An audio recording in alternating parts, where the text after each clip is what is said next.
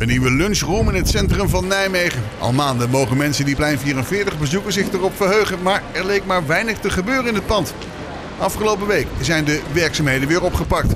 De bouw van de lunchroom liet een tijdje op zich wachten, onder andere door een conflict van vastgoedeigenaar Ton Hendricks met de welstandscommissie. Nadat wethouder Beert Veldhuis een helpende hand bood, kon Hendricks verder met de bouw.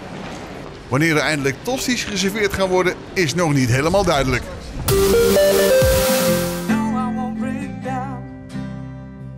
Festival de Oversteek heeft na Nijmegen-West ook het oosten van de stad aangedaan. Onder andere op de Waalstranden, in de Ooibosjes en in Boomgaarden konden bezoekers kleinschalige optredens bezoeken.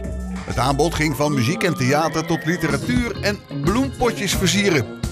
Volgens de organisatie waren de twee festivaldagen druk bezocht en gezellig.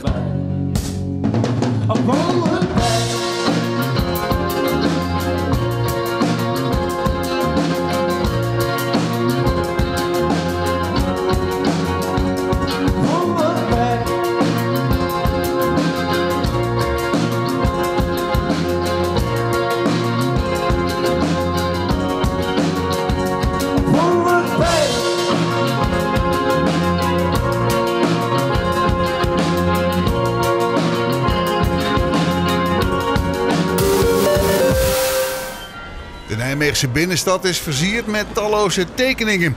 Dat is gebeurd tijdens het Big Draw Festival dat van 7 tot 10 september in de stad neerstreek. En niet alleen de binnenstad is versierd, ook op bijvoorbeeld de Waalkade zijn kunstwerken te zien. De Big Draw is een festival dat bezoekers en voorbijgangers uitdaagt om mee te werken aan een kleurrijke stad. Het festival fleurde eerder al grote steden als Barcelona, New York en Berlijn op.